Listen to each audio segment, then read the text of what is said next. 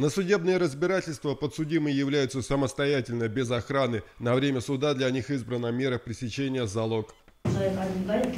Для дачи показаний в суд вызываются свидетели со стороны обвинения. В прошлом году военная разведка выявила несколько фактов незаконного пересечения казахстанской границы. Нарушители – это в основном нелегальные трудовые мигранты из Узбекистана. Они имели при себе поддельные миграционные карточки. Позже разведчики вышли и на пограничников.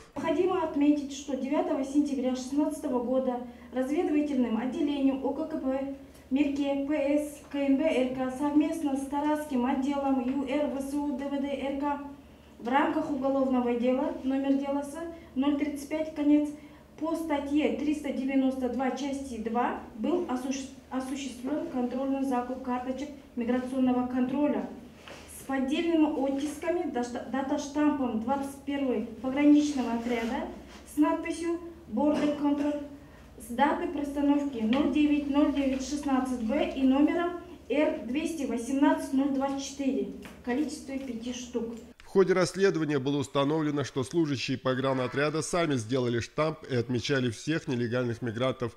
За свои услуги они брали 5000 тенге. Сколько всего вы поддельных документов выявили? 44. Я принес суду эти материалы. Сейчас судебное следствие продолжается.